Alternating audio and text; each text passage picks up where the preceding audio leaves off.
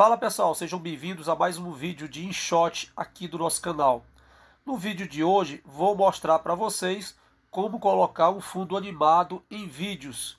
Então vou clicar aqui em vídeo, vou clicar em novo e vou selecionar um vídeo aqui no meu dispositivo com fundo animado para ficar por trás do vídeo principal. Olha só, já está aqui na linha do tempo o vídeo que eu selecionei. Note que ele tem movimento. Vou dar um play aqui para vocês observarem. Agora eu vou adicionar o vídeo principal que eu quero remover o fundo. Vou clicar aqui em PIP. Vou selecionar o vídeo que eu quero é, aplicar o chroma aqui. É esse vídeo aqui. Note, pessoal, que o vídeo aqui foi adicionado, mas ele está com resolução muito baixa. Eu vou aumentar para cobrir o fundo é, que vai ficar por trás. Então vejam só.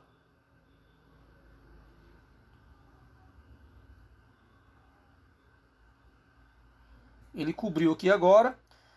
E você deve observar agora se os vídeos têm o mesmo tamanho, os dois vídeos. É sempre bom fazer isso.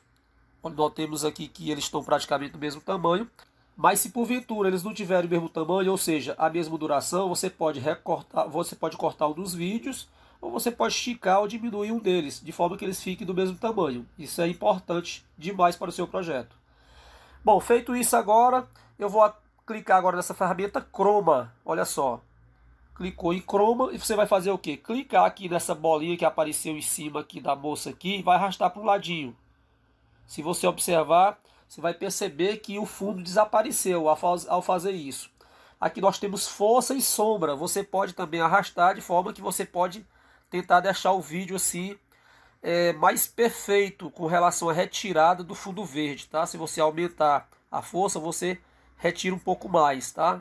Aqueles restinhos que eventualmente tenham ficado. Você vai fazer o que agora? Você vai clicar aí no vizinho aqui, ó.